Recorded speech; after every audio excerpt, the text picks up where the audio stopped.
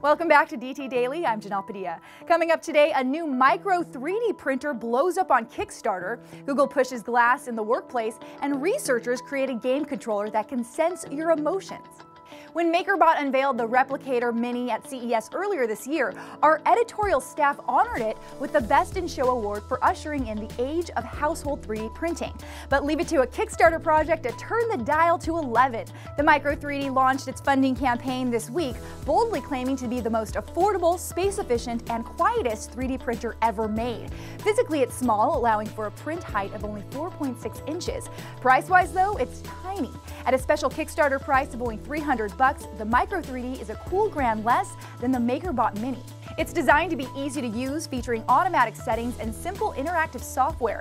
And this promises to be an everyman's 3D printer. It's seen record-breaking interest on Kickstarter, blowing past their funding goal in a mere 11 minutes. For all the doubters who think Google Glass is only for technophiles and attention seekers, we have some news for you. Google is rolling out a program called Glass for Work. Right now, most of the apps that run on Glass are consumer focused. However, a small number of developers are sending the headgear into places like operating rooms and oil fields to see how professionals can use it. To encourage more business use of Glass, Google is reaching out to explorers trying to discover unique ways they use the wearable gadget in the workplace. Google hasn't elaborated on what the Glass for Work program will lead to, but it sure does appear that two years after Glass's introduction, Google is still searching for a killer app for Glass. Once upon a time, two buttons and a four-way pad were cutting-edge interactive video game tech. Now, fast forward 30 years. Gone are the simple A and B buttons, and pretty soon, your gaming controller will be able to sense how you feel.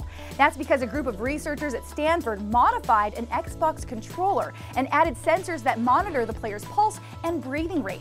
With this data, they're able to monitor vitals along with how demanding the game is. The goal is for a console to sense how challenged the gamer is at any given point.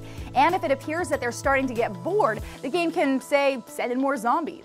Combine this with VR headsets, and gaming is really starting to look more like a science experiment instead of, well, video games. And that's DT Daily for today. We'll see you tomorrow.